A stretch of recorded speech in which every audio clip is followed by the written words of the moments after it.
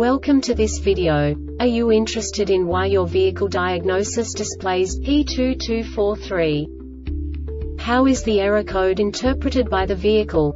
What does P2243 mean, or how to correct this fault? Today we will find answers to these questions together. Let's do this. First, let's look at the history of diagnostic fault code composition according to the OBD2 protocol, which is unified for all automakers since 2000. We divide the electric system of automobile into the four basic units. Powertrain, body, chassis, network. This distribution is defined in the first character code. If the second character is expressed as zero, it is a standardized error. In the case of numbers 1, 2, 3 it is a more prestigious expression of the car-specific error. The third character specifies a subset of errors. The distribution shown is valid only for the standardized DTC code.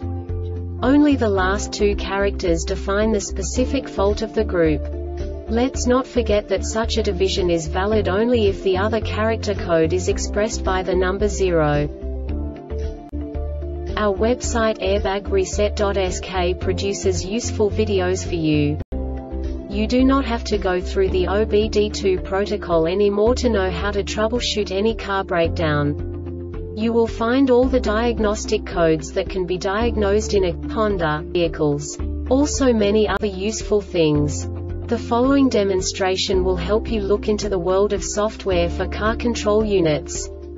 You unbelievably can move the video a bit further. The error code is split into two bytes consisting of 16 bits. One bit is the basic unit that each computer works with. The bit has two logical states. 0, low level, 1, high level. By combining the first two bits, the basic character of the error code is expressed. The next two beats again determine the second character. The last beat styles of the first byte define the third character of the code. The second byte is composed of a combination of 8 bits. The first 4 bits determine the fourth character of the code. And the combination of the last 4 bits defines the fifth character. A single byte conceals 256 possible combinations. We now know in what way the diagnostic tool translates the received information into a more comprehensible format. The number itself does not make sense to us if we cannot assign information about it to what it actually expresses. So, what does the diagnostic trouble code P2243 interpret specifically Honda car manufacturers? The basic definition is Lost communication with suspension control ECU. And now this is a short description of this DTC code.